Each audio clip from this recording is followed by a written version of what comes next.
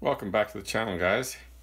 So if you've been following my mailbag videos, uh, you might have gotten a hint that I was getting some radios, in particular Baofeng radios and some accessories for them.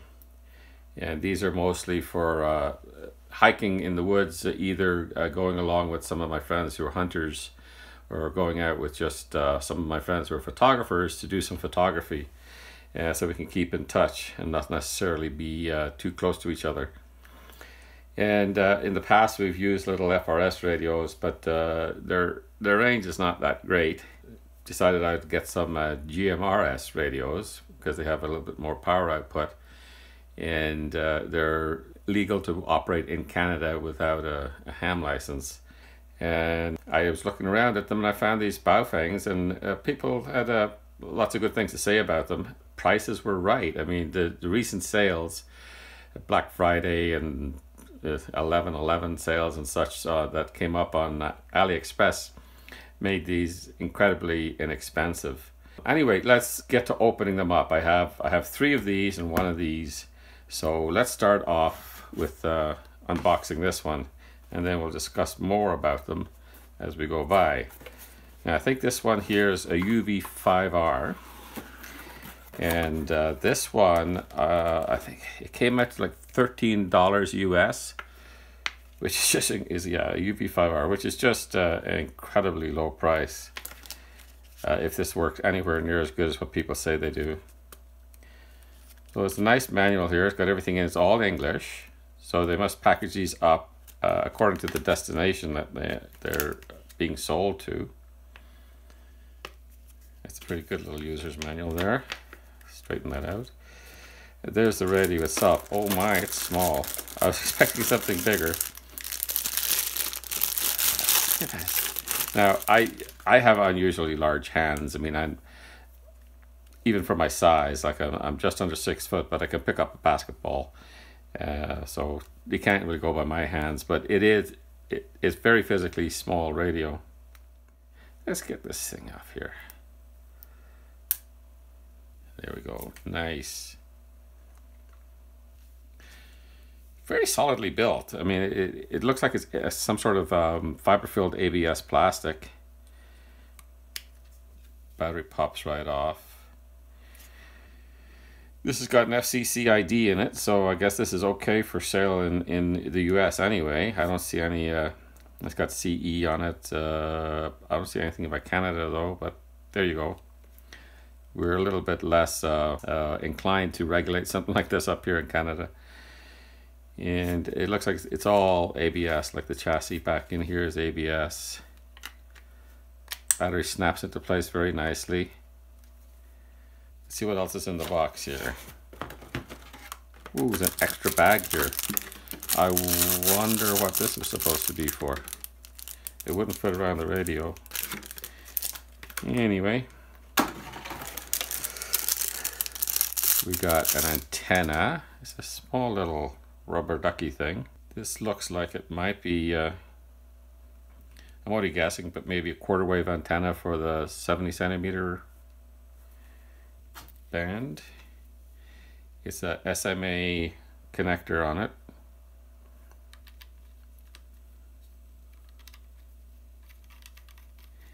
Yeah, it screws on there like that.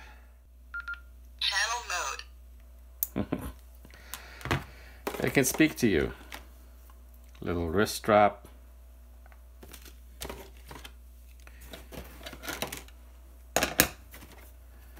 Belt clip. A belt clip here. I guess this, you have to take that off. Put it in there. Belt clip and a charge stand. That's it. That's it. Oh, this is a, this is an incredibly light wall wart. I can't imagine it being a very good one. What's the output of it? It is 10 volts. The stand is very, charging stand is very light as well. Let's see how that looks. We'll plug it in. I'm not going to get into too much in testing them in this. This is part one. I'm just going to kind of go through everything I got. And then uh, in part two, we'll, we'll test some stuff out. What I want to do is I want to I want to test the power of the radios. I want to test the kind of um, cleanliness of their output with the stock antennas and with some of the uh, accessory antennas that I got. You just basically check them out. Uh,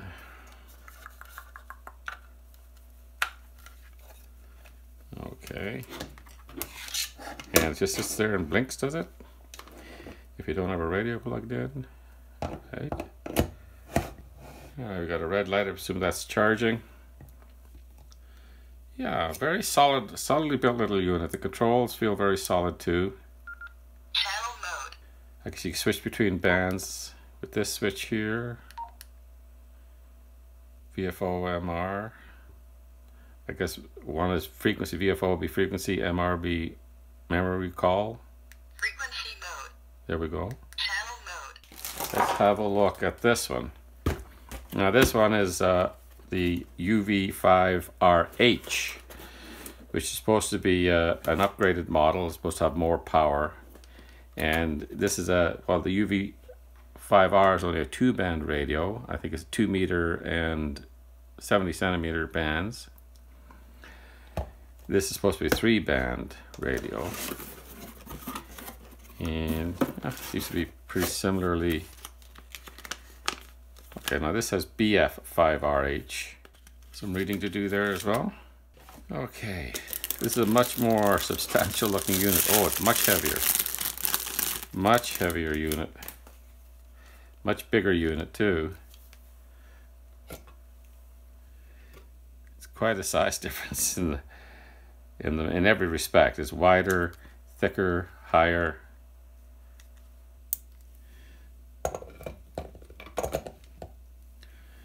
and much bigger screen.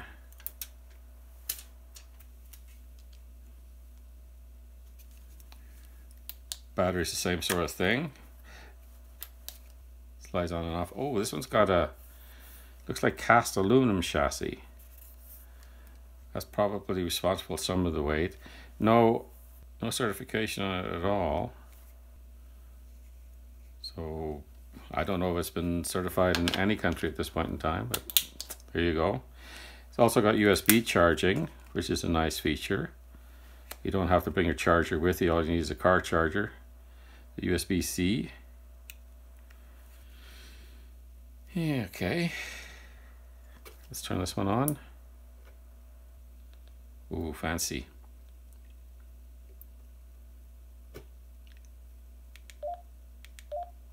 Frequency mode. Channel mode. A little bit better audio too. Frequency mode. Let's see. Two, two, zero, zero, zero, zero. Okay, so it does have that third uh, band that it can. That would be what a 1.25 meter band. Much more substantial feeling, and it fits my hands really nice. Yeah. Okay, here's the antenna that comes with it. It's uh, longer and uh, thinner, more flexible antenna. Same connector though, female uh, SMA.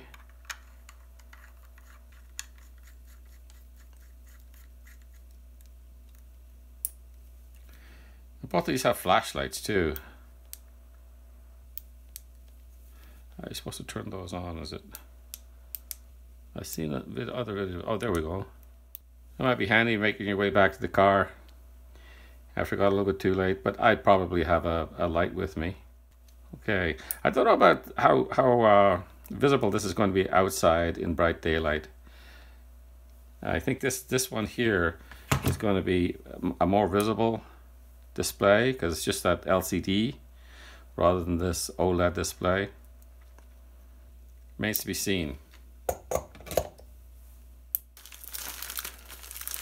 So these here, let me get a knife to open that up.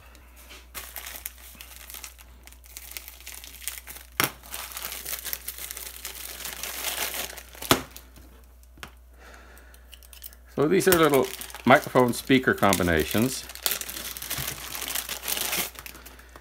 These will uh, plug into the side of the radio. You've got this little trapdoor here. And I believe this uh, configuration was first designed by Kenwood uh, some years back. And what this allows us to do is, is wear the uh, is down on our hip and have the microphone up near our ear where we can hear it and you know grab it quickly to respond and it just Welcome. Frequency mode. Just got a push to talk to switch on it it's got the microphone in it and a speaker I think they're going to come in handy it's going to improve the uh, usability of the radio. It also got it's got a little headphone output on it there as well. So if you wanted to put headphones on, uh, you could do that as well. These were on sale for uh, I think they were like a dollar ninety nine US each. That was a pretty good sale. That's where I went crazy with buying a lot of the stuff that I've had in the last couple of mailbag shows.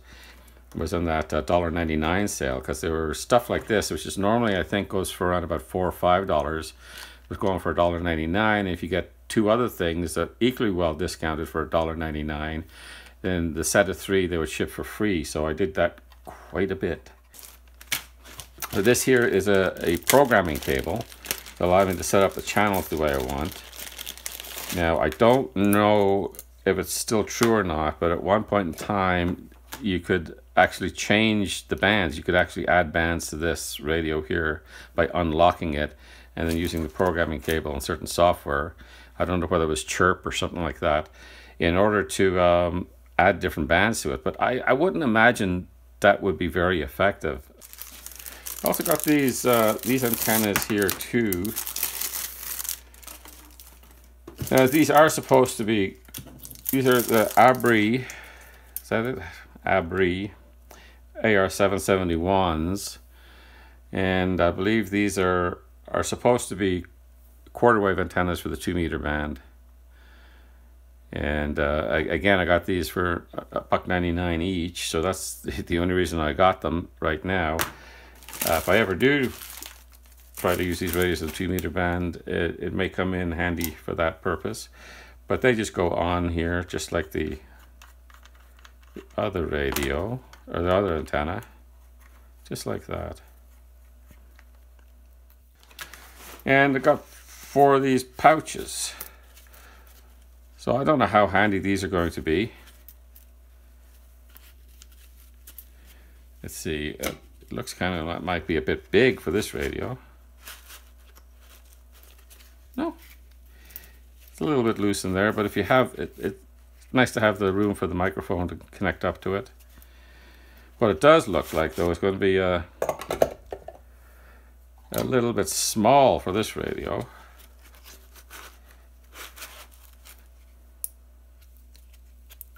Welcome. Frequency mode. Yeah, it looks like it fits okay, but it's kind of stretched over that push to talk. Put the microphone in there, it may... Yeah, so if you press the push to talk, it doesn't release.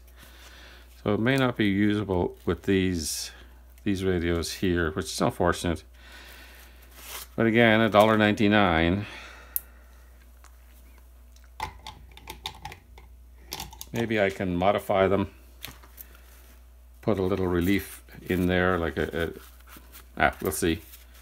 Be nice to be able to get them to work with these.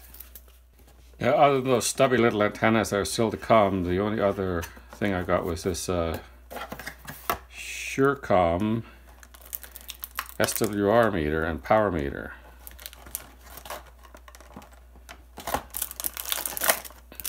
Here's the unit itself.